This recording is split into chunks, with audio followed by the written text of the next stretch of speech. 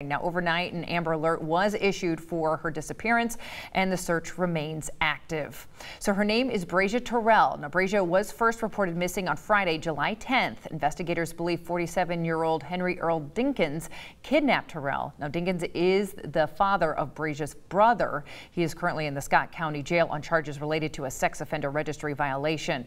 But Breasia is still missing. So Dinkins has not yet been formally charged in the disappearance of Breasia. So the police joined by Breasia's family want the public's help on identifying his whereabouts from Thursday night through Friday afternoon, hoping that might help them locate the little girl.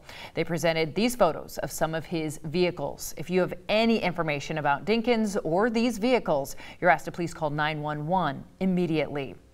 Breasia's mother, Aisha Lankford, spoke to our sister station at WQAD about her daughter and said she is a budding TikTok entertainer and a great older sister to her eight-year-old brother, Detorius. I'm a savage. He's always like, Mom, Mom, this TikTok, you should do this TikTok, Mom, you should do this TikTok. What's she like? She has the most biggest personality ever. I mean, any kid, I mean, any parent would want. You know, she helps, you know, she's a very good big sister. So pay attention to these details. Breasia is four foot five, weighing 75 pounds with black hair and brown eyes. She was last seen wearing an oversized white t-shirt, shorts, as well as pink or white uh, flip-flops. So anyone with information on where the child is should call the Davenport Police Department or again 911. Now many viewers are asking the question, why did it take four days for an Amber Alert to get issued for Breasia? Well, here's why.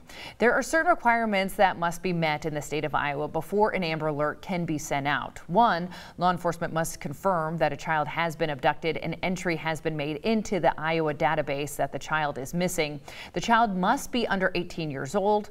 Next, law enforcement must believe that the child is at serious risk, such as bodily harm or death. And finally, there must be enough descriptive information uh, available about the child, the abductor, or the suspect's vehicle.